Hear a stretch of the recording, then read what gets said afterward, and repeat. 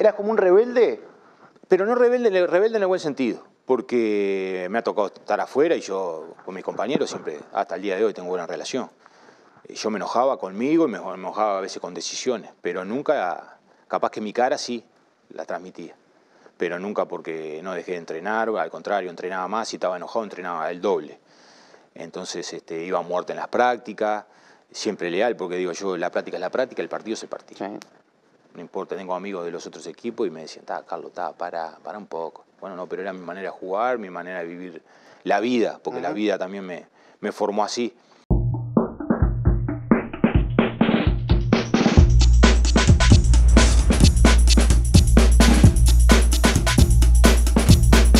Bienvenidos a un nuevo programa de Al Ángulo. Vamos a charlar con Carlitos Macchi, el ruso, hombre de Liverpool, de Peñarol.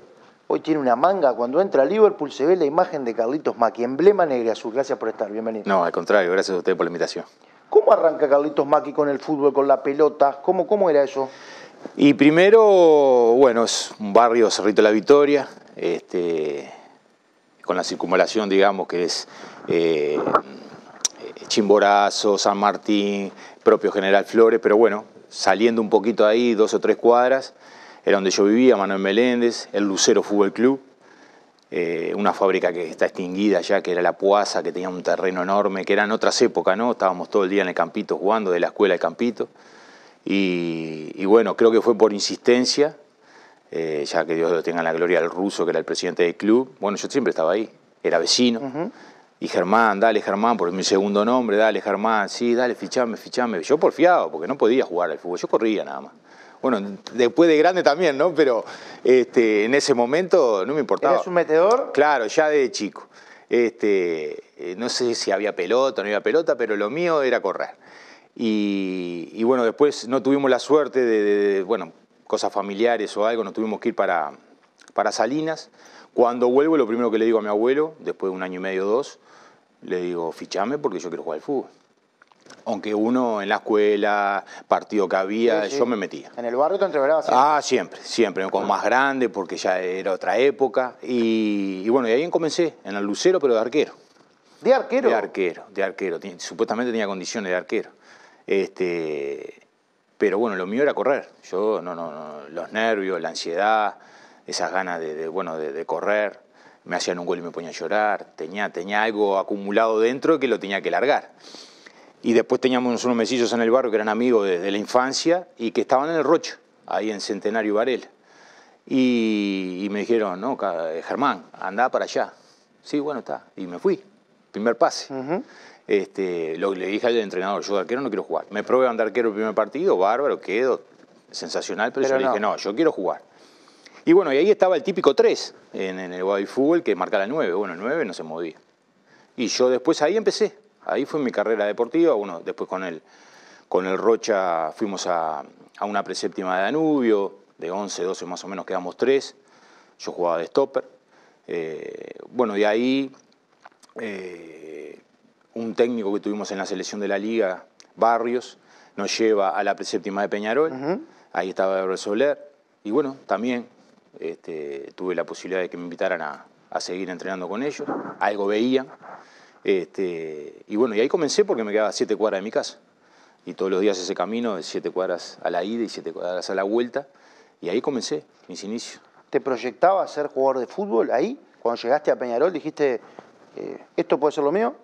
Era mi sueño, era mi sueño. Este, también la, la motivación que yo tenía de, bueno, de una familia carenciada, de, pasar dificultades y bueno, y esa hambre, esas ganas y ese sueño de, bueno, de proyectarme y, no sé si condiciones, pero de proyectarme a que, bueno, que lo que yo quería lo, tenía que hacer y bueno, y así fue, ¿no? Con idas y vueltas, eh, como, un, digamos, como un trampolín fue porque, porque bueno, eh, los primeros años fueron, fueron espectaculares porque eh, apenas yo tenía, estaba en preséptima, ya jugué en la séptima, eh, me, gané mi lugar en un, debut con River, un River de PTT Correa, bueno, que en ese momento eh, esa, esa, categoría de River era espectacular. Y bueno, y ahí en, el, en la cancha de River ganamos 3-0, 3-0, 3-2, no me quiero equivocar porque, porque bueno, fue mi debut como número 3 y bueno, de ahí empezó la carrera. Y...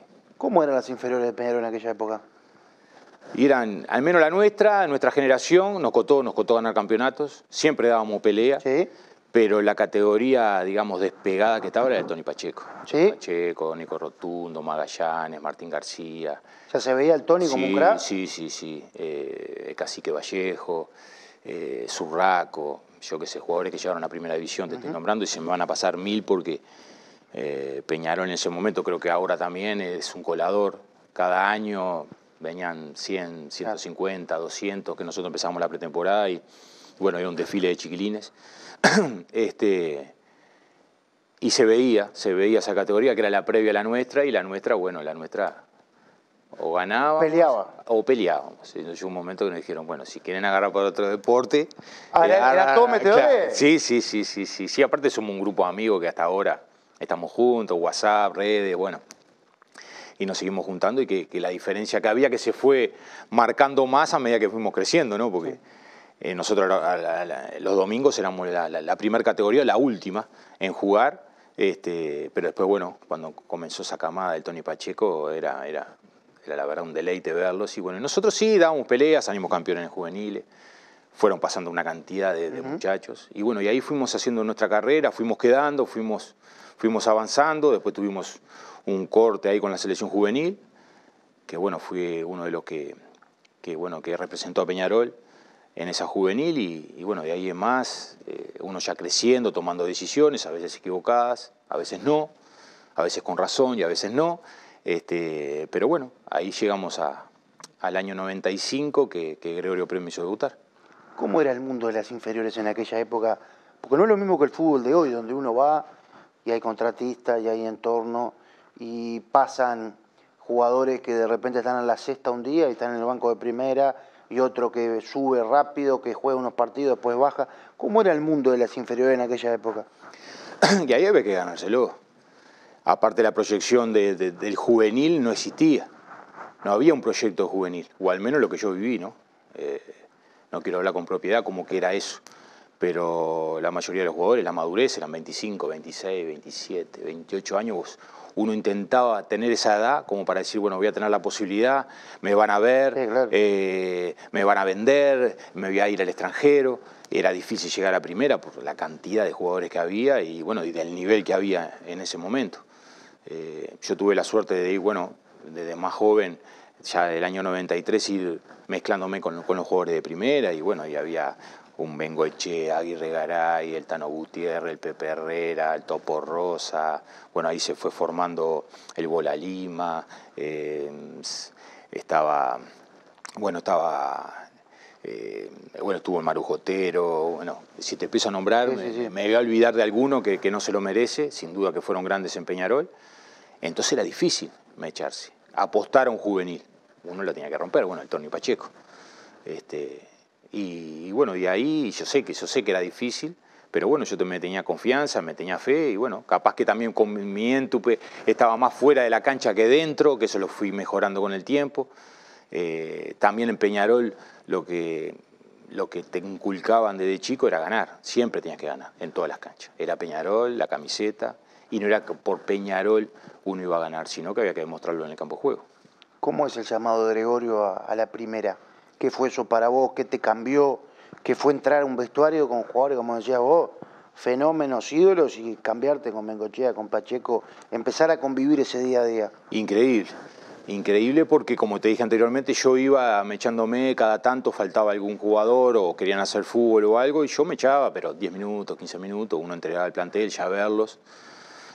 yo siempre fui muy callado, hasta después de grande que uno comandó lo que era un plantel, ¿no? Con el buen sentido de la palabra. Este, y encontrarse después en una práctica, me acuerdo hasta el día de hoy, que fueron dos o tres prácticas seguidas ahí en el Charrúa, y, de estar de 10, 15, 20 minutos al equipo suplente. Entonces en el equipo suplente yo ya me, ahí me, pasaron mil cosas como que fueron a jugar un partido en primera en el estadio con, con, un clásico, claro. y dije, esta es mi oportunidad si estoy en los suplentes, que vengo una semana entrenando seguido y, bueno, hicimos 45 minutos de fútbol, terminó, terminó, me sacó aparte y me dijo, mire que usted ahora eh, va a integrar el Martín de Primera División. Perfecto, le dije yo. Le digo, cortes el pelo, me dijo. ¿Te dijo? sí, está en el límite, me dijo. Pero yo... ¿Gregorio? Sí, claro. Que estuvo acá, sí, sí, sí, no sabía eso. Sí, sí, sí, sí. Bueno, en aquel entonces eh, el tema aro, el tema caravana. ¿Cómo, ¿El pelo de Maki, que era el, que vimos en la última etapa? Sí, hasta más largo lo tuvo. Sí, en esa época de Peñarol. Sí, sí, hasta más Córtese el pelo, le dijo. Sí, claro. ¿Y? Sí, sí, señor. Era como pasarela con, claro. la y iba Con los demás sí discutía. Con los demás porque venía de antes, de la cuarta división, que cortés el pelo, y yo discutía. Eh, con el profe. Este, profe, le digo, pero ¿viste Holanda? Le decía yo, ¿viste Holanda? Son todos unos craguli, bambaste. ¿Y todos unos este, pelos? Tienen los pelos. Yo no juego con el pelo, pero usted se lo toca. Yo no, yo me pongo una piola. Pues ya en aquel entonces le decía, si yo me le pongo una piola, claro, en aquel entonces. yo me pongo una piolita, eh, agarraba, yo qué sé, un elástico o algo y yo ya me lo ponía. Y no quería cortarme el pelo. Pero ta, uno tenía que hacer caso. Contame cuando te dice lo del pelo. Y yo que. Otro peluquería. Claro, claro, pero al otro día llegué y está en el límite, me dijo, manténgaselo. Sí, sí, yo dije. En el límite. Están al límite. Yo dije, ay, ay, ay, seguimos así. Bueno, yo tenía, tenía caravana, bueno, en aquel entonces. Está, pasó. Este, quedan anécdotas. Este, y también, antes de llegar a, los aromos, me la sacaba. Salía a los aromos, me la ponía, eso sí. Este, hasta que llegó un momento que me dijo, esto no puede sacar, poner, sacar, poner. Y dije, está, me la saco. Este, pero sí, Gregorio, la verdad, agradecido y, sobre todas las cosas de como persona y como fue, que fue directo, ¿no? Eso es lo, que, lo, más importante y lo que uno rescata de todos los entrenadores que tuvo, que hubieron muchos.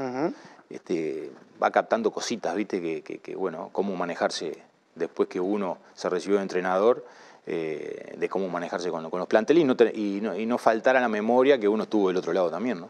Pausa y seguimos charlando con Carlitos Maqui acá, al ángulo.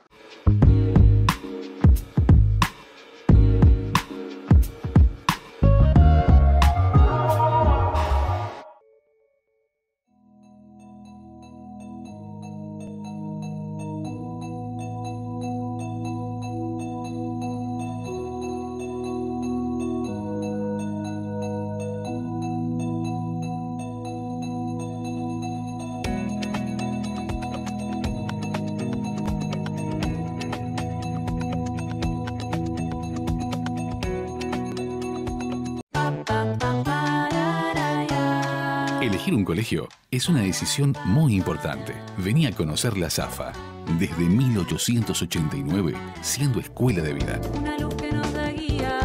Inicial, primaria, ciclo básico, bachillerato, todas las orientaciones. Colegio y liceo Sagrada Familia. Avenida del Libertador 1960, zafaguada.edu.uy.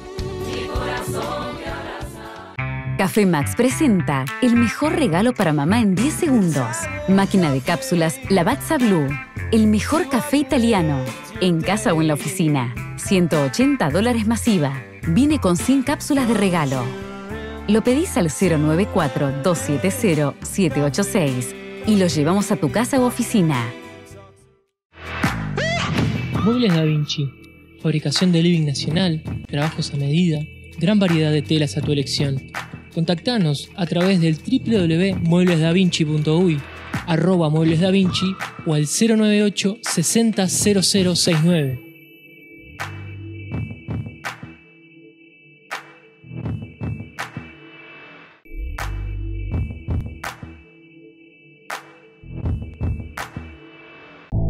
Oportunidad, del latín op, Asia, y portus, puerto. Hacia el puerto van las oportunidades y desde ahí llegan a todos. Estamos trabajando para ampliar la terminal Cuenca del Plata y sumando infraestructura para estar a la altura de los principales puertos del mundo. Para recibir barcos de cualquier tamaño y bandera y así seguir generando oportunidades que queden acá. Terminal Cuenca del Plata.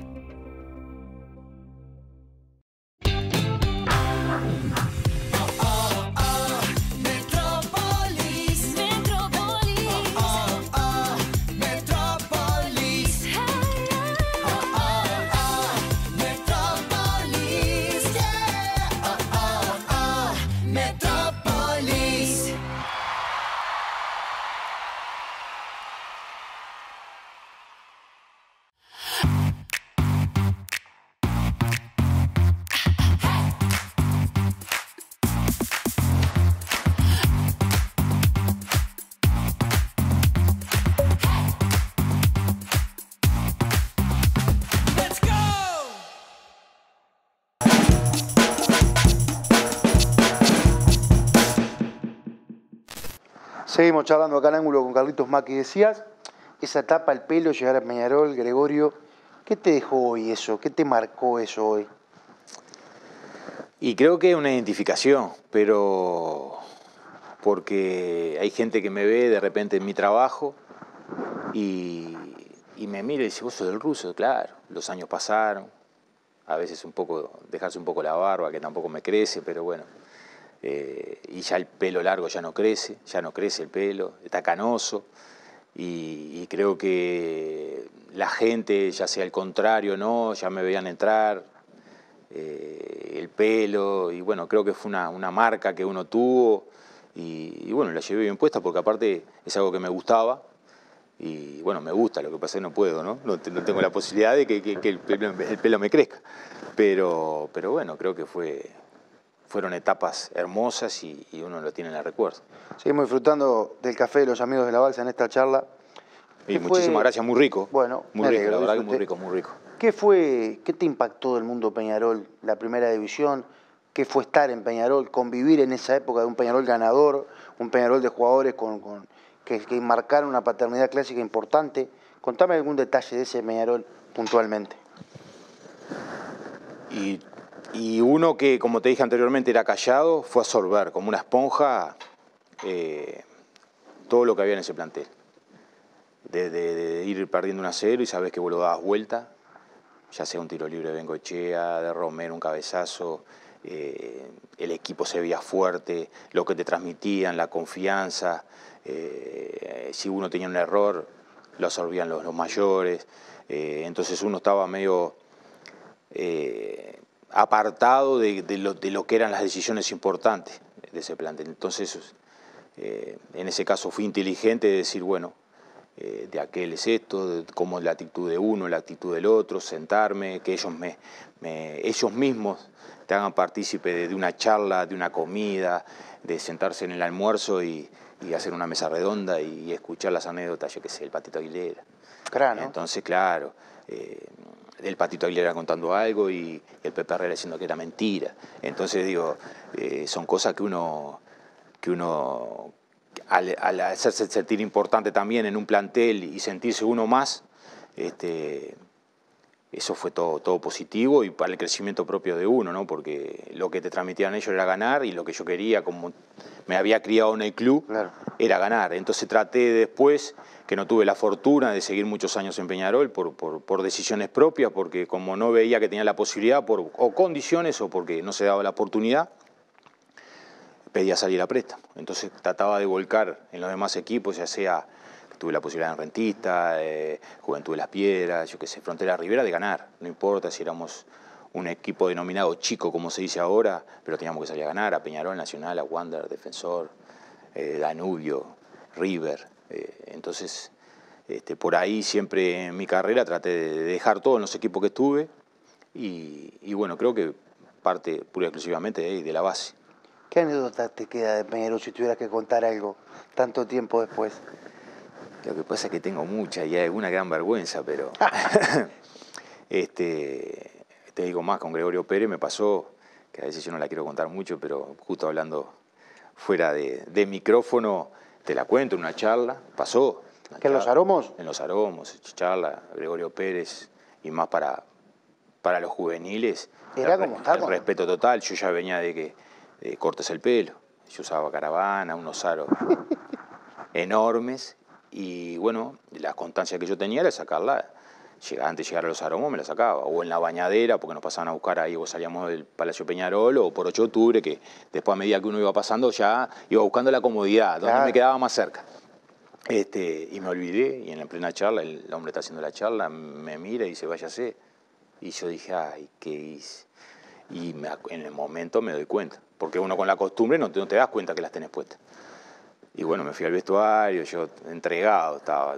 Bueno, me saco la, lo primero que hago es sacarme la caravana y ya agarraba mi cosita y me iba. Y el hombre viene y me dice, vaya, vaya. ¿Vino Gregorio a Sí, claro, claro, porque aparte el plantel fue, debe apoyarme, fue peor, porque fue algo peor fue. Entonces me hicieron sentir tan mal desde el bola hasta, bueno, el bola al equipier, ¿no? Este, bueno, ¿qué hiciste? No venís más perdiste la posibilidad. Bueno, está. Fueron 5, 6, 7 minutos que fueron. Ah, estabas entregado, fue una tortura, fue una tortura. ¿Y? Y no, no, no, no. De ahí en más, él me da un golpe en la cabeza. ¿Qué te dijo ahí, Gregorio? Vaya, no sea vos, vaya, vaya, vaya para adentro y entrene, vaya, vaya. Pero no, no. Fue como, como si no hubiera pasado nada. Y más que nada me lo remarcó el plantel, porque era continuo, era continuo. Hasta que pasaron los días y después, bueno, fue algo como una anécdota, pero, pero sí, este, la vergüenza que pasé pero bueno, me mereció lo tenía, porque sabía, la, sabía las reglas que había en el, plantel. Este, y bueno, está, y yo sin querer las incumplí y bueno, merecido tenía el rezongo. ¿Cómo fue, cómo era ese Peñarol de los clásicos? Ese Peñarol de los clásicos era morir. Eh, era el, partido, era el partido. Ya la previa en la mañana, bueno, eh, entrenábamos, almorzábamos, yo qué sé, yo me acuerdo que más que, conviví fue en Copa Libertadores en el año 98, este, y bueno, se sentía, se sentía la gente, el dirigente, estaba el presidente Damiani, que también, bueno, la verdad eh, entraba y bueno, y uno lo, admiraba, ¿no? Porque cómo lo trataba uno, ya en el momento que uno fue a arreglar contrato en lo personal, me trató como, como si hubiéramos arreglado contrato 200 veces. Este, y el apoyo sobre todas las cosas. ¿Cómo fue ese día con el contrato? ¿Llegaste y que estaba Damiani? Contame un poco de eso que bueno. Sí, em, fue en el año, bueno, en el año 98 estuve en Liverpool y bueno, con mi genio, con mi carácter, que a veces eh, no me ayudó, no, no, no, no me ayudó en, muchas cosas del fútbol. Este, lo primero que digo es, bueno, si yo vuelvo a Peñarol es para jugar o por lo menos para que me tuvieran en cuenta, que se entienda bien lo que, lo que quiero decir el mensaje, porque yo en Liverpool, malo bien, había jugado todo el año, eh, yo ya me había sentido importante en el plantel, el club me lo, me lo, hizo saber que quería quedarse, pero que bueno, yo tenía que volver. Y, bueno, todo eso le llegó al presidente, porque yo hablé con Alejandro Botelo, que era el ayudante técnico de, de Gregorio Pérez, y bueno, como lógica, ayudante técnico, y hay una confianza con Alejandro Botelo. Digo, vale, yo en tercera no quiero jugar más. Yo quiero jugar, quiero venir, pero jugar. Ahí está, que, por lo menos ganarme un lugar, porque yo siempre, nunca nadie me regaló nada, ¿no? Entonces yo que sé, con trabajo, con sacrificio, yo sabía que iba a estar. Pero, pero bueno, venían desde un quinqueño, eh, un plantel armado. armado, enorme, con grandes jugadores, yo sabía que iba a estar muy difícil. Pero bueno, no me importaba tampoco quedarme en Liverpool, porque a mí en Liverpool siempre me trataron bien y la primera vez fue mejor todavía. Y bueno, cuando me siento, lo primero que me dicen es, ¿no quiere venir para acá usted? Me dice, ah, no le gusta estar acá. No, no, yo le dije que sí. Y bueno, pero fue fácil porque, porque bueno, me dijeron, lo que hay es esto, esto, y había que firmar el contrato. Y bueno, después llegué y me lo hizo saber Gregorio Pérez también, ¿no? No se enoje, no ande enojado, ni con trompita y, y corra. Porque vos eras de, ese mal humor porque desde carácter fuerte... Claro, carácter fuerte y hacer siempre... ¿Eras como un rebelde? Pero no rebelde, rebelde en el buen sentido, porque me ha tocado estar afuera y yo con mis compañeros siempre, hasta el día de hoy, tengo buena relación. Yo me enojaba conmigo y me enojaba a veces con decisiones, pero nunca, capaz que mi cara sí la transmitía, pero nunca porque no dejé de entrenar, al contrario, entrenaba más, y estaba enojado, entrenaba el doble. Entonces este, iba a muerte en las prácticas, siempre leal, porque digo yo, la práctica es la práctica, el partido es el partido no importa, tengo amigos de los otros equipos y me decían, está, Carlos, está, para, para un poco. Bueno, no, pero era mi manera de jugar, mi manera de vivir la vida, porque la vida también me, me, formó así. Este, entonces se ve que está él sabiendo todo eso, en las primeras dos prácticas, me dijo, anda enojado, si está enojado. Este, pero yo le dije, no, no, no estoy enojado. Bueno, sigue así. Y así fue, pretemporada, partidos amistosos, y me dio mi lugar. Este, y agradecido estoy que era, vos decías del mundo Peñarol, llegar, Gregorio, ser un juvenil, salir, volver a Peñarol, arreglar el contrato, lo de Damiani. ¿Qué te cambió en el día a día ya cuando empezaste a, ser un jugador de primera división en Peñarol y a estar consolidado en Peñarol? Y primero que está, que siendo juvenil muchos no te identificaban, pero ahí va la marca registrada del pelo, este es Maki. Este es Maki. Y está, lo primero me decían, yo qué sé, caballito, bruto, es un animal, bueno, está, todo cosas así que en la vida me lo dijeron mil veces. Este, pero, pero bueno, dentro del plantel, ya sea el Vasco Aguirre Garay, eh, yo hablaba mucho con el Punta Aguilera, que, tenía la suerte, y con Bengochea que tenía la suerte que vivíamos cerca, y me decía, Rubio, vení, esperanos acá en el shopping y yo te paso a buscar. Y, me llevaban, y me decían, si del otro lado te gritan, y por algo te gritan, eh, que identifican esa voz, y aparte por algo es, vos pensalo, pensalo. Y bueno, y ahí absorbí esos insultos, que es normal en el fútbol, que era entrar a la cancha y era, era conmigo, desde que empezaba hasta que terminaba y se había largue. ¿Cómo canalizabas eso? En, no, en, querer más, en querer más. Si en, mi caso, en mi, en mi forma de jugar, era ganar un tranque y, yo no medía un 85, medía dos metros. Mm. Entonces, este, por ahí me, ayudaba. Nunca, nunca, gracias a Dios, me, me, no sé si acobardar, pero me minimizó a, mi juego, al contrario. Había más grito, porque me acostumbré a jugar en cancha chica, eh, la vida mía fue así. Entonces, no, por ese lado, al contrario me ayudaron mucho, los contrarios me ayudaron mucho a crecer. ¿Qué jugador decís de todos los que te tocó marcar en aquella época? Después nos vamos a meter al Liverpool, vamos a hablar de Palma, del Liverpool que encontraste, el Liverpool de hoy, el Liverpool que anduvo muy bien en la Sudamericana. ¿Qué jugador en aquella época decía, para jugar contra este era durísimo? y yo creo que agarré la mejor etapa de, de Marcelo Tejera porque él sabía de que si entraba en el juego nuestro en la mitad de la cancha, él no la iba a poder tocar. Entonces era un juego rápido, juego dinámico, él se te dio vuelta y te metía una pelota donde quería. Y entonces para mí, como marcador, que en aquel entonces se jugaba el 10, yo era el 5 retrasado, digamos. y siempre, tapón. ahí está, entonces la, la, la, referencia mía era los 10. Este, siempre el más bravo del otro lado. Claro, entonces, pero, pero Marcelo era imposible de marcar, ¿Sí? porque yo salía a 10 metros a buscarle y ya no la tenía la pelota. Entonces, Cuando vos venías ya descargaba. Claro, ese desgaste, bueno, me acuerdo, eh, con Juventud en, Canelones, nos comimos ocho. Entonces digo, ahí vos sacás la conclusión y que teníamos muy buen equipo nosotros.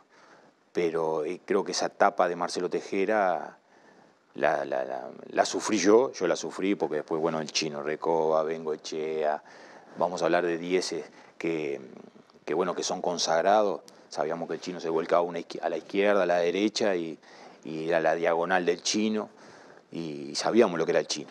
Este, Vengo a lo mismo, se tiraba atrás, yo había jugado con él, él vino a buscar la pelota entre, los volantes y vos se la tenés que dar. este, pato. El pato, bueno, el pato otro inteligente para jugar, pero yo no lo sufría tanto porque estaba atrás mío. Mm. Entonces, este, más que nada lo sufrían los, los, zagueros o me decían, Carlos, volcate un poco más atrás, que me sale a recibir o se te tira derecha, izquierda. Pero yo lo sufrí a Marcelo, ese campeonato lo sufrí a Marcelo y me lo recuerdo hasta ahora porque creo que nos enfrentamos dos o tres veces y, fue algo que, que, que, que yo, la, la, las posibilidades mías o los, o como se puede decir, o las virtudes mías era la marca. Claro. Y yo robaba pelota, yo robaba mucha pelota, capaz que entregaba mal, que lo fui mejorando con el, con el tiempo, que era jugar fácil. Este, y ahí me encontré con Marcelo Tejera que ni para pegarle, porque no llegaba ni si yo sabía. Cuando venía hasta. Claro, yo sabía que si le jugaba fuerte, y sí, me iba a ir. Dos, tres, dos, dos o tres faltas me iba a ir. Sí, porque no te daba tiempo, no te daba tiempo. Vos decías lo de mejorar el, el pase y el jugar fácil. ¿Eso lo trabajaste después? ¿Fuiste entendiendo el juego de otro lado? Porque antes, como decís vos, capaz que robabas 10 y te costaba mucho entregar. Algo que ha pasado, que se da mucho en el cambio del fútbol ahora los volantes completos que se le dice, los Valverde, los Bentancur, los Yareva, los Ríos, el Ruso Pérez, que quizás marcaban mucho más pero tenían menos juego. Eh, ¿Cómo fuiste adaptando ese juego a, tratar de entregar mejor, a darle más tenencia a la pelota, a circular mejor la pelota? Y yo creo que fui entendiendo lo que los mensajes de los entrenadores que me lo decían todos. Ese fue el problema. Entonces ahí va capaz que es la madurez de uno. En querer hacer algo que yo no tenía que hacer y lo hacía por el otro. Yo jugaba por derecha y si había que presionar en una presión alta, yo me iba a la izquierda igual. Porque si yo veía que el volante. El 5 no lo marcaba, ni el volante por izquierda no lo marcaba, yo salía en el ímpetu mío de salir a, y el a marcar. te sobraba. Claro, y de repente eh, abanicaban la pelota y yo te marcaba la línea 4. Pero a la, vez decían, pero sos un loco, Carlos, parecía un loquito corriendo. Y era la verdad. Porque después uno veía ese video, y, pero corriste 70 metros, 80 metros, y quedaste allá arriba y los corriste a todos y no le agarraste la pelota. Después también eh, la posibilidad de que, de que bueno, eh, más que nada de 8 o de 10, yo no jugaba de 10, ¿no? Pero volante por izquierda, porque jugué en los cuatro puestos con cuatro volantes, siempre por fuera, por el, por el despliegue que uno tenía. Bueno, ¿te gusta correr? Corre. Andá y vení, pero cubríme la zona. Entonces yo era un lateral volante de antes. Claro. Te iba de, banderín del córner a banderín del córner. No tenía problema. Pero de repente te ponía una diagonal hacia el otro lado que yo no tenía que estar ahí. Claro. Porque era más el orden, más el 5, el 8. Era más posicional. Más posicional. Hasta que me volcaron de 5. Bueno, hacer el desgaste, abanicame la línea de 4, parate ahí, haceme el desgaste, quita y entrega. Y yo cuando vi que entre, robaba 10 pelotas y entregaba 5 mal, dijo, acá hay como que está mal, tengo que levantar el porcentaje. Después entrenando, entrenando solo, entrenando con compañeros, pegándole la pelota, los cambios frente. Y fui madurando mayor ya, porque me fui dando cuenta, después de 20, 25 años, me fui dando cuenta que tenía que mejorar para, bueno, para, para rendirle más al equipo. ¿Se hablaba más de fútbol en los vestuarios de antes que hoy? Vos decías lo de Tejera, lo de Recoba, si vos hablabas con, no sé, con compañeros tuyos, bueno, vamos a jugar contra el chino, va a volcarse a la izquierda, eh, quédate vos, yo lo tomo. ¿Se hablaba más de fútbol que hoy? Yo hoy en día no estoy actualizado en lo que son los planteles de ahora. Viví una época ya... Pero te tocó jugar en, en, épocas bastante diferentes. Yo ya mayor, yo ya mayor, este, bueno, antes de grande sí, vos eras el, el juvenil del plantel y no podías ni hablar, en el buen sentido, ¿no? Era tu lugar, me cambio. Era mi lugar, permiso, qué lugar sobró, te decían ahí, ahí tenés tu lugar y ese era tu lugar. Este, yo vi una época también que llegaban chiquilines de otros equipos con 20 años y me iba a sentar acá no, acá no. Acá no. No, ¿por qué no? ¿Por qué estoy yo? O porque está él, o porque está él, hace cinco años está en el, en el club, o está él. Yo entraba al vestuario de Liverpool y era mi, mi lugar, era el primero, que estaba ahí. Y era intocable eso ahí. Ahí se sabía pero no porque uno impusiera algo para que la gente, la gente de fútbol entienda, que en el plantel a los más grandes se impone. No, no, porque yo digo que cuando hay un chiquilín que debuta con 18 años tiene la misma responsabilidad que, capitán del equipo. ¿Por qué? Porque si a, la hora de ganar un premio estamos equitativamente todos iguales, bueno, a la hora de responsabilidades sí, sin duda que el mayor lleva la carga, la mochila de decisiones, pero el plantel tiene que estar todo junto en tomar alguna decisión. Hoy en día no pasa porque en mi época de repente te debían cinco o seis meses de sueldo en los equipos que yo tuve y que era lo normal del fútbol uruguayo y había que a veces que juntarse el plantel y decir, bueno, ¿qué hacemos? Seguimos entrenando. ¿Dónde entrenamos? Nos juntamos todos juntos, entrenamos por acá, de comunicarle al plantel, eso te lo comunicaban los más grandes. Y hoy en día eso no pasa. Este, pero, pero sí, sí. Este, en ese, bueno, la música siempre estuvo, eh, el de la alegría, el que canta, el más chistoso, pero creo que sí, sí, sí, porque si veía un partido importante o no ya sea importante, conoces a aquel, va a jugar a aquel, sí, pero mira que está lesionado, sí, pero esto, pero mira lo otro. Entonces se hablaba, se hablaba de fútbol. Tenemos que ganar el fin de semana por X, X razón. Bueno, ¿qué hacemos? Vamos a decirle al hombre para venir un rato antes. ¿Eso se hablaba se también? Se hablaba, claro, se hablaba, sí. Sí, se hablaba. En el caso mío en, en particular, eh, te lo puede decir el Tola. Había jugadores que tenían que quedarse la noche anterior. Nosotros nos íbamos y se quedaban la noche anterior. ¿Sí? Sí, claro. Se quedaban la noche anterior porque, porque era la manera, pero siempre de frente, ¿no? Por eso digo que aprendí muchas cosas. Primero hablaron en el plantel, después plantearlo al cuerpo técnico, el cuerpo técnico estaba de acuerdo y el club estaba de acuerdo, porque estaba la cena de 4, 5, 3, 2. Estaba la cena, estaba la, la cocinera, bueno, los empleados del club. Y bueno, entonces tienen que quedar. Sí, chao. Pausa y seguimos. Vamos a hablar de Liverpool, de algo que quedó marcado para Carlitos Maki.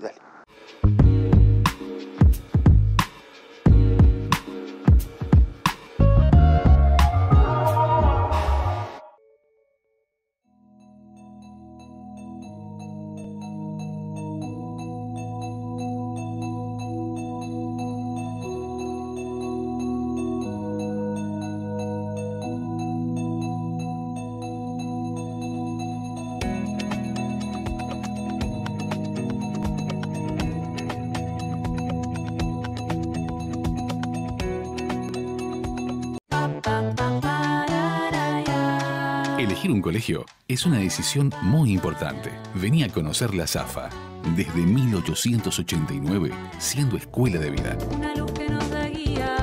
Inicial, primaria, ciclo básico, bachillerato, todas las orientaciones. Colegio y liceo Sagrada Familia.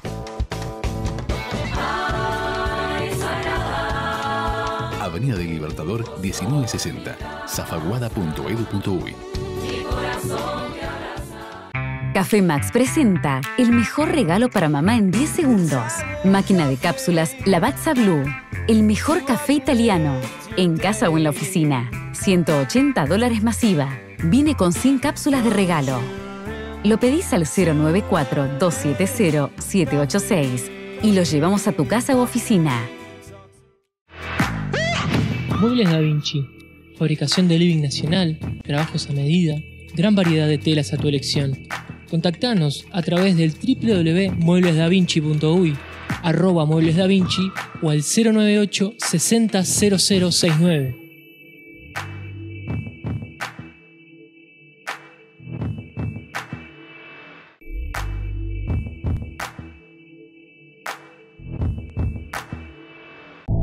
Oportunidad, del latín op, Asia, y portus, puerto. Hacia el puerto van las oportunidades y desde ahí llegan a todos. Estamos trabajando para ampliar la terminal Cuenca del Plata y sumando infraestructura para estar a la altura de los principales puertos del mundo. Para recibir barcos de cualquier tamaño y bandera y así seguir generando oportunidades que queden acá. Terminal Cuenca del Plata.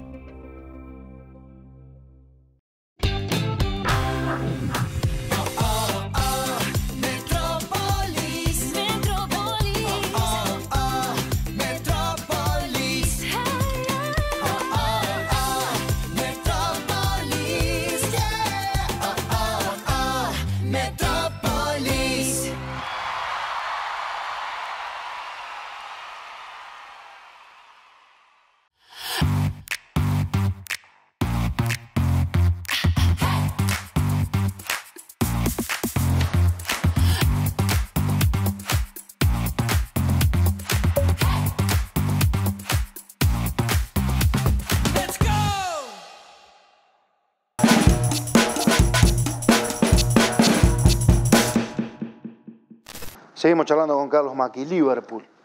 Llegar a Liverpool, ser referente de Liverpool, ser ídolo de Liverpool. ¿Qué fue la llegar en, la última etapa a Liverpool? Y bueno, es lo que uno estaba esperando hace mucho tiempo. Yo venía de, de rentista, eh, había tenido un contacto por arriba con Progreso y ahí tengo un llamado de Palma. Eh, ese año 2008 eh, se arrancaba de clausura muy abajo, con 7, 8 puntos, este, y bueno, y tomaba la conducción Favaro. Y, y bueno, me planteó, usted se va para Progreso. No, no, yo estoy en rentista. Le, me dice, bueno, quiere venir para acá, pasa esto, esto y esto y esto. Y le voy a decir más. antes, de esa, antes de esa llamada, la anécdota de él es que me llama César. Ah, se confundió el nombre, se confundió el nombre, pero en, en una buena, ¿no?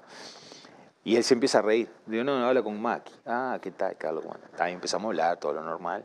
Bueno, arreglamos el contrato y bueno, hicimos un campeonato que nos faltaron, creo que dos o tres puntos para poder entrar en la liguilla que en aquel entonces se jugaba. Y de ahí empezó, creo que, que algo muy bonito con, con el Lolo, con la primera clasificación a, a la Sudamericana, pues pre-Libertadores, peleando siempre arriba. Y creo que ahí el club fue, fue tomando, tomando un rumbo que, que bueno, que era, que era el que hoy en día le está dando fruto. Palma, ¿qué me puedes decir? Y un gran presidente, un gran presidente. Este, que las decisiones pasan por él, ya sean acertadas o no. Y, este, y sin duda tuvimos idas y vueltas, pero por, por cosas del fútbol. Pero, pero bueno, nos vemos en la cancha, nos damos un abrazo. Y, y en ese sentido eh, siempre va a ser el, el presidente de mi club. ¿Qué era para vos Liverpool cuando te fuiste transformando en referente? Eh, ¿Qué empezaste a transmitirle a los demás? Porque Liverpool empezó a apostar mucho a los juveniles, empezaron a llegar una cantidad enorme de juveniles con unas condiciones bárbaras. Alfaro, Elías Figueroa, al Papo Barbosa. ¿Cómo fue encontrarte con todos esos jugadores que tenían una proyección enorme, pero que bueno, que hacían sus primeras armas en primero? Y lo más importante es el mensaje que, que bueno, que se le hacía a todos. Este, es una hinchada muy difícil, también Liverpool. Que a veces que parece que fuera de barrio, pero cuando la gente acompaña, te llena de Sí, claro. Este, y vos los tenés ahí, porque están ahí, de al repente, lado. eh, el- los muchachos más jóvenes que salían, o yo en mi caso, que, que vivía ahí a- atrás de la Plaza de Deporte número 7, abajo del viaducto, eh, yo me iba caminando, sí, cuando practicábamos ahí en, en Belvedere. Y porque siempre fue así, digo, siete cuadras, voy a sacar, a sacar el auto para un lugar para estacionar. No, era, era mi barrio, era mi Camino. club, era, mi, era la gente. Entonces digo, el mensaje era que, que, bueno, que se podía, que, que- que la meta que nosotros teníamos cada campeonato que empezaba es salir campeón. Después, claro, se fue dando la posibilidad de, de- de- de ingresar a una Copa Sudamericana con, con varios equipos, pues, según cómo terminabas en la tabla, y nos daba todo el club. El club te da todo.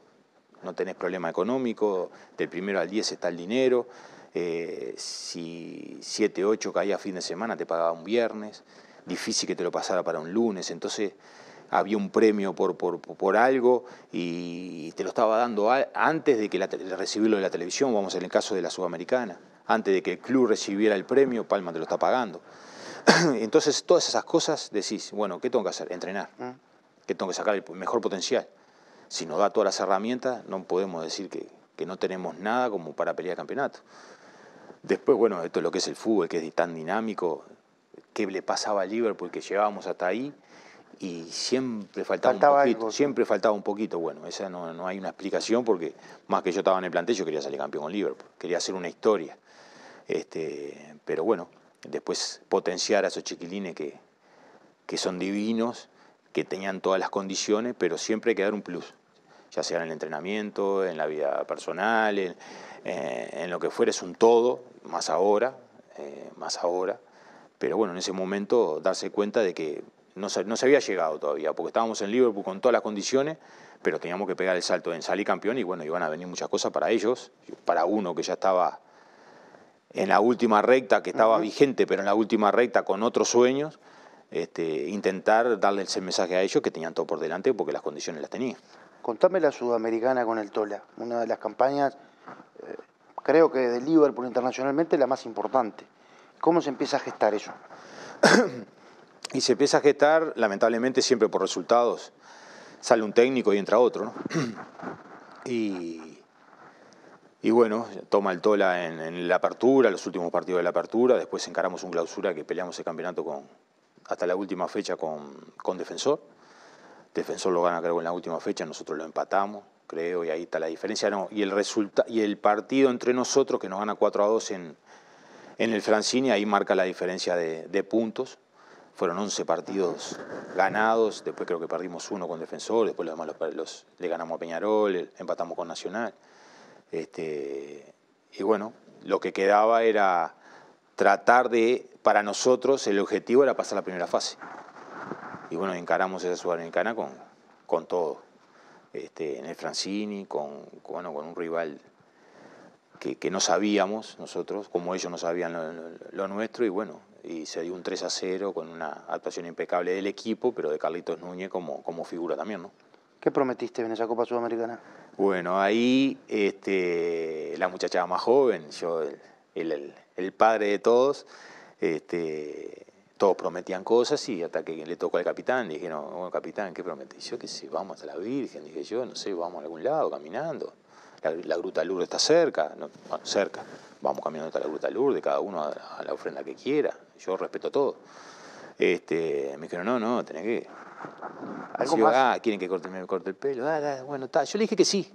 Pero yo le dije que sí, y bueno, hagan tres goles. Vamos a hacer tres goles, vamos a tratar de cerrar la llave. Porque malo o bien habían dos mil y pico de metros. Claro. Había altura donde íbamos a ir, entonces, digo, vamos a tratar de sellar la llave 3-0, en la, en la primera, en la primera llave. Bueno, terminamos un partido, el primer partido, el primer tiempo 3 a 0. Y dije, bueno, ese, como, estaba, como estaba hecho el partido, eh, era para hacer 5, 6. Bueno, terminamos 3-0.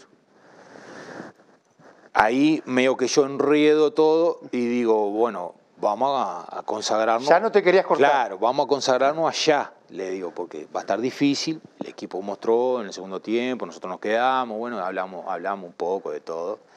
Eh, el Tola en ese momento también nos remarcó muchas cosas, que nos quedamos en el segundo tiempo, que esto hay que, hay que cerrarlo, que hay que aprender, bueno, está. Toda la charla, lo que, de las cosas buenas, hay cosas malas también. Entonces, bueno, el Tola sacó lo, lo negativo para, para tratar de revertir la situación allá en Bolivia. Bueno, fuimos, terminó el partido 2 a 1, y ahí no. No tenías Ahí no escapatoria. había escape. Lamentablemente todos fueron a mi habitación y bueno, Ahí cada uno pasó la máquina a su antojo y yo tuve que sufrirla porque Era un pelo de años. de años, de años. Creo que no sé cuándo tenía yo en aquel entonces, ya ni me acuerdo. Ahora estamos en 48, casi 48, y yo estaría 35 años, 36, capaz que menos. Sí, te andaría por ahí. Y bueno, está, y lo sufrí. Y lo más lindo de todo que me dejaron, pero me dejaron a cero, me dejaron. Y bueno, está, todos divirtiéndose con mi pelo, con todo, pero de ahí en más, este, estamos con el look de hoy en día porque ya no crece más. Ya no Pero crece más, ¿no? Ya no crece más. ¿Qué faltó en esa sudamericana? Y creo que nos faltó, nos faltó experiencia, nos faltó experiencia. Eh, la calidad estaba, las ganas estaban, pero hay momentos que, que- que, bueno, que tenemos que ponerle otra cosa. Este, me acuerdo del partido con, con Independiente allá, nos avasallaron futbolísticamente los primeros 15 minutos. Nos costó 15, 20 minutos que podíamos haber perdido 3 fácil, 3 a 0, pero después fue a la par el partido. Terminamos 2 a 1 y ellos pidiendo la hora, porque ahí crecieron los más jóvenes, los más jóvenes se dieron cuenta de toda la gente que había, la teníamos que, como anteriormente estábamos diciendo, volcarlo lo que era lo nuestro. Nosotros estábamos ahí todos juntos, íbamos a salir todos juntos, no iba a pasar nada. Y acá hicimos un gran partido en el primer tiempo. Este, ganando 1 a 0, con un Independiente que no pasó la mitad de la cancha. Este, pero creo que, no sé, nos confiamos cinco minutos, vino un gol, después una expulsión y de ahí perdimos el rumbo. Este, y bueno, y se dio lo que se tenía que dar. Pero, pero sí, sufrido y, y se sintió porque nosotros sabíamos que estábamos para más. Sí, claro. ¿Fue Elías de los mejores que viste de esa generación? Elías, eh, Carlitos Núñez, eh, mostraron un potencial enorme. ¿Te sorprendían ya los entrenamientos? ¿Ya veías que, que tenían todo para ser crack? Claro que sí. Eh, Carlos cuando apareció entró como, como todo juvenil, 15, 20 minutos, pero el Lolo lo vio y dijo, pero tiene una potencia bárbara, fuerte, eh, callado, definido con las dos piernas. Y Elías, bueno, Elías ya entraba en el vestuario de otra manera por, por, su, por su manera de ser, eh, de poner música, de chiste, de ser cómico, aunque es callado. Uno tiene, él tiene el perfil de callado, de tímido, pero dentro del vestuario, siéndose, siendo cómodo, era, era un chiquilín querido porque es divino. Y después la zurda que tenía. La zurda, el cabezazo, la potencia. Y bueno, y así como muchos, ¿no? Eh, que, que creo que capaz que el club, para que se entienda bien, al tener todas las comodidades, uno se llega a, a Liverpool y dice, bueno, ya toca el cielo, ¿no? Hay, Hay mucho más. Hay mucho más. Que es un trampolín enorme y fundamental Liverpool y más como estás trabajando ahora, sí, claro, te prepara y te prepara para, para lo mejor. Pero es eso, es una preparación para lo mejor porque uno tiene que soñar eso, soñar, soñar que hay cosas más, más importantes y mejores, sin duda. ¿Cómo lo ves al club hoy? eh, que creció mucho, creció mucho y apunto hacia abajo, ¿no? Eh, lo que hablábamos anteriormente de- de- de- del juvenil llegar preparado a lo que es la competición en primera división, porque puedes hacer 30 goles en cada categoría y ser el máximo goleador del club en, en juveniles y vos te llegas a primera y te encontrás con, con gente grande, con, con hombres que saben cómo meterte el cuerpo, que vas a cabecear, te tocaron y ya no cabeceaste, eh, el, irte fuerte abajo, eh, aunque hoy, hoy en día se juega más, pero el fútbol, yo no, quiero salir de eso, el fútbol no puede, la mística del fútbol uruguayo no la puede perder, eso no la puede perder, podemos jugar, mejorar, pero, esa entrega, ese sacrificio no se puede perder y ha mejorado mucho en, en juveniles, competitivo con, los equipos tradicionales que, han trabajado muy bien, Defensor, River, eh, bueno, Peñarol Nacional que no se puede dejar afuera, eh, Danubio, que sin duda Nacional y Peñarol a veces tienen altibajos en alguna categoría puntual, pero siempre están trabajando por la cantidad de gente que les va. Pero creo que de la mano de Gustavo Ferrín, ahora Emiliano Alfaro, eh, que están trabajando muy bien y bueno, todo el cuerpo, el cuerpo de entrenadores este, con una línea, sin duda con, con sus matices, pero con una línea importante para que los chiquilines lleguen a primera.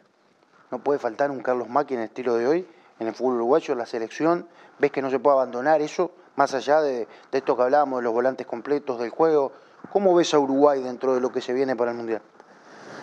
Y bueno, como se habla en, en todos lados, ¿no? Y yo más que nada miro que el medio está, está muy fuerte. El medio está muy fuerte. Ahí había, a veces uno saca información de, de distintos colegas tuyos, Valverde más arriba, Valverde más abajo, pero Valverde en, en el Real Madrid juega capaz que por derecha, este, más libre, pero, pero eh, rotan continuamente en la mitad de la cancha, a veces se queda de cinco, a veces sale, a veces no, pero, pero, que, pero que en estos momentos el, el fuerte es esa franja, esa franja central que, que, que está muy fuerte. Lamentablemente atrás han tenido dificultades, pero son jugadores de clase, son jugadores... ¿Le tenés fe? Sí, claro, sí, siempre, siempre.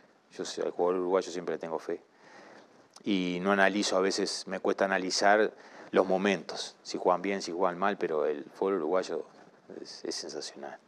Este, ante la adversidad siempre, siempre hay un plus, siempre hay un plus. Y, este, y sin duda, ojalá, que a mí me gusta tener, no en mi caso porque, porque bueno, hay jugadores más completos, pero siempre la mística tiene que estar. Sí. La entrega, el sacrificio, el ir a todas las pelotas, y eso lo tenemos, lo tenemos.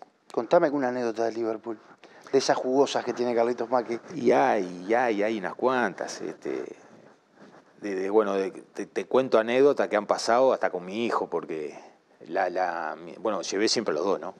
Bueno, una tiene 24, la otra tiene 14, ¿no? Pero este, la nena, por ser nena, eh, no vivió tantas cosas que el varón vivió dentro del vestuario.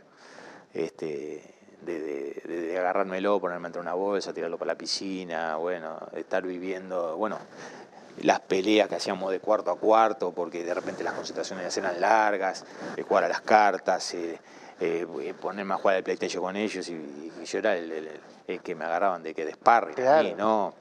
Este, la convivencia, las charlas, eh, el, el- en el buen sentido, el pedir permiso y quedarte con el entrenador, eh, algún jugador y los mayores tomando una copa de vino. Este, entonces pasa por ahí, pasa por, por, la convivencia, por, por ya siendo la, la- empleada, eh, bueno, la cocinera, los equipier, eh, yo qué sé. Para mí fue una familia, hasta el día de hoy, porque los veo y los abrazo, nos emocionamos y contamos cosas que, que, que- bueno, que han pasado en, el- club. Este, una ronda de mate, eh, ya sea sanidad, porque no me puedo olvidar de sanidad, que yo no estuve mucho tiempo con ellos, ¿no? pero cuando tuve este, bueno, el trato es espectacular. Entonces creo que todo eso hace que hoy en día, porque siguen siendo tanto los mismos los funcionarios, Ujú. eh, se ven el resultado, se ven el resultado. ¿Qué, contame alguna de- del taxi después del fútbol, de tomar un taxi que venga Carlitos Macchi, ídolo de Liverpool, la manga de Liverpool, haber jugado en Peñarol. Contame alguna de esas, porque debe ser espectacular. Puedo decir, bueno, llamo un taxi de los miles que hay en Montevideo, viene Macchi. Claro, y pasa, pasa, que a lo primero no se dan cuenta. Este, cuando recién arranqué, claro, más que nada con el tema de la pandemia se perdió un poco la noche. ¿Mm? Y yo también abandoné un poco la noche, en el sentido de, de- de que hacía las nocturnas, salías tres y media de la mañana a las 4. Y también porque, bueno, eh, como se dice, haces un poco menos de dinero por no hacer la nocturna, pero eh, pasás el día más tranquilo. Porque lamentablemente hoy en día es difícil, Sí, claro. es difícil. Estar en una puerta de un baile, salir, se pelean, que esto, que tiran una cosa, que tiran otra, y vos estás ahí, vos estás trabajando. Aunque son gente joven que se está divirtiendo, pero hay cosas que no las entendés, todo lo que ha cambiado esto. Entonces, este, dele que sabe en mal estado, Sí, eh, y que arrancaste y, y se te durmió y vos sabés que en, en la- en el primer aire él te va a vomitar, porque él te va, sabes, ya sabes. Entonces lo tenés que estar Pero despertando. igual, pero igual paraliza. Claro. Yo voy a tomar un taxi, Claro. estoy de joda, viene Macchi, volante, metedor, este me mata. En- no, y no, pero bien, en una buena, sí, amigo, le digo, bajate, por, por favor. Está, bueno, yo porque soy muy correcto. Este, pero cuando de repente, lléveme a tal lado. Y Estamos terminan con la luz. cinco de la mañana. Claro, terminan con Ruso, pará, pará, pará, pará, pará que voy adelante, pará que voy adelante. Claro, yo atrás, ¿no? Pará que voy adelante, dale, vení. Bueno, y ahí de, de foto, hincha de Liverpool, ¿no? De foto, gente de fútbol también. Sos Carlos Maki, ¿no? Sí, va, las veces que. Las Te- veces, te- claro. te alenté. claro. Este, mirá que eras bravo, ¿eh? No, pero todo pelota. A veces porque estaba, uno salía a la pretemporada, estaba falta de distancia. Seguro, Lamentablemente. claro. Este, Pero con- te agarraba en noviembre, falta de Claro, distancia, pero a mí una vez un técnico me dijo, con algo que quedarse, Carlos. A salir y con algo tenés que quedarte. Ta, ta. Yo cumplía el pie de la letra. Con algo te quedaba siempre. Siempre. Este, pero sí, sí, hasta yo, bueno, yo trabajo en El Paso, La Teja, ando por todos lados, ¿no? Claro. Pero como vivo por ahí, mi, mi salida es esa, es como una rutina que uno tiene, el caminito que hace. Y siempre. Ruso puede ir acá, sí, vamos, va, Liverpool y esto, los Liverpool, ¿no? Y hoy le ganamos, y esto, sí, sí, sí, va a la cancha, sí, sí, está, sí, nos vemos ahí, dale, dale. Entonces algo muy normal, o hago los mandados, o algo, porque uno se maneja así. Este, y bueno, y a veces salgo con mis hijos y me dicen, está, papá, dice, está, nosotros seguimos, dice, porque claro, me pongo a hablar con uno, con el otro, y a mí ¿Te me, gusta hablar, no? me gusta hablar de fútbol y me gusta la gente mayor, hay vecinas de- de- que van hinchas de Liverpool de muchos años, y Carlito, ¿cómo andás? Y nos ponemos a hablar, y no te vi en la cancha, no, pero viste que yo ahora estoy en el, en el- estoy en el techo, le digo, estoy parado en el techo, porque mi compañera tiene un jardín hace muchos años, el pichín que ya le hago, me tomo, Métalo. me, me- me- me tomo el atrevimiento, pero claro, está conectado en Belvedere, es Belvedere, ahí en- entra y sale gente. Y si no, por Calo de la Vega, y hay unos apartamentos y se te mete, ¿viste? Porque está el jardín, el muro y la cancha. Claro. Entonces yo me subo al techo, estoy en el palco VIP. Ese no lo tiene nadie, ¿eh? No, no, no, estoy en el palco VIP, veo todo ahí. Este, entonces uno malo o bien va a cuidar, porque han pasado muchos años atrás que, que, bueno, lamentablemente los grandes son los que convocan más gente. Y son los más que dan más, relajo. Sí, claro. Y un día entramos y habían 20, sentaditos en los, en los sillones, los chiquilines, en los, en los muritos, todos estaban esperando treparse el muro Para entrar, claro. para entrar. ¿Y qué hace con todo eso? ¿Y ahí? Y ahí, bueno, saliendo, sí, justo. No. No, no, no, ahí no hay chance. Y ahí no hay más que que vaya. No, hay, no hay los dos metros, no hay volante de marca, no, hay nada, ¿no? No, no, no, ahí no hay chance. Lamentablemente así, ¿no? Y uno lo tiene que reconocer. Te hacen así, como diciendo, Ya está. Este, y ha pasado y han pasado momentos feos. Entonces, bueno, por suerte hoy se trabaja bien con el club.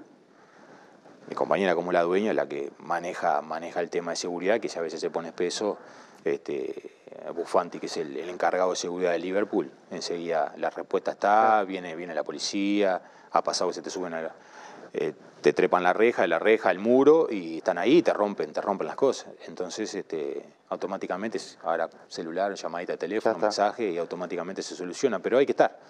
Este, y uno ya aprovecha también a mirar el partido. claro. Entonces a veces me pierdo ir a lo que es este, Claro, contacto con la gente. al contacto con la gente, pero, pero sí me reconoce la gente y a uno lo hace sentir bien porque uno es futbolero. Entonces, este, que lo reconozcan y lo sigan reconoci- reconociendo después de viejo es lindo. Este, pero, pero bueno, después seguimos trabajando. Como siempre. No Te hago la última. ¿Qué te dio el fútbol? El fútbol, me dio muchas cosas. Este, me dio un trampolín de vida que yo a veces este, rescato ahí lo más importante. No quejarse de la crianza que tuvo uno, pero sí de lo que uno quería y lo que no quería. Este, entonces me dio un trampolín importante de agarrarme de eso de que, bueno, es por acá. Y, y bueno, después este, mi trabajo, eh, mis dos hijos, bueno, la compañera que tengo hoy en día, este, mi perro, después tengo dos más que son de ella, que son adopté yo, este, un loro y, los amigos que tengo en la vida. Los amigos y bueno, y ir por la vida y que bueno, que, que gente que hace mucho tiempo que, te, que, te- que no te ve o algo, te dé un abrazo, quiere decir que, que bueno, uno fue caminando con sus vaivenes, pero fue caminando lo más reto posible y bueno, entonces, sobre todas las cosas, buena gente. Lo más importante. Gracias Eso por es lo más importante. Gracias a vos, gracias a vos. Carlitos Maki, acá, al ángulo.